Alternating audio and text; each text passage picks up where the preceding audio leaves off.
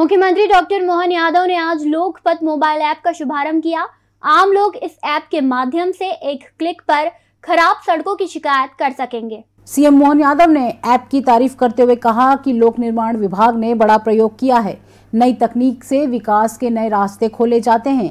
लोक निर्माण से लोक कल्याण किया जा रहा है। उन्होंने कहा कि लोक निर्माण विभाग के अंतर्गत चालीस हज़ार किलोमीटर की सड़क आती है। सड़क में कहीं भी एक भी गड्ढा दिखेगा, उसको सही किया जाएगा। लोक निर्माण से लोक कल्याण।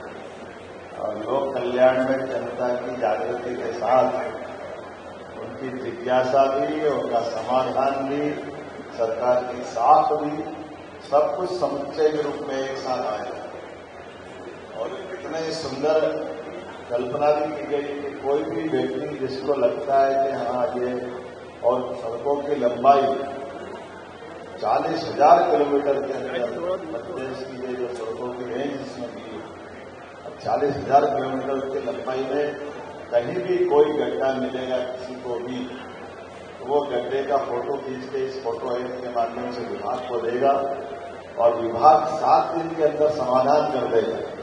इस मौके पर लोक निर्माण मंत्री राकेश सिंह ने कहा कि पीडब्ल्यूडी विभाग लोक निर्माण से लोक कल्याण की दिशा में आगे बढ़ रहा है।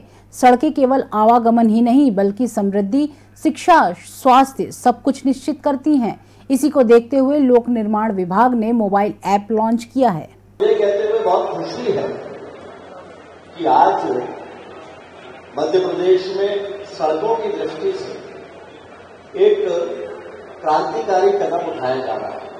हम सभी जानते हैं कि सड़कें विकास की धमनी है। न केवल आवागमन, बल्कि समृद्धि, शिक्षा, स्वास्थ्य, सब कुछ सड़कों पर आधारित है। और अगर सड़कें अच्छी हो तो उसके कारण से न केवल विकास तीव्र गति से दौड़ता है, बल्कि वो सारे वातावरण पर भी उसका फ़र्क होता है, जिसे हम सुशासन एक सभ्य समाज में कहते हैं।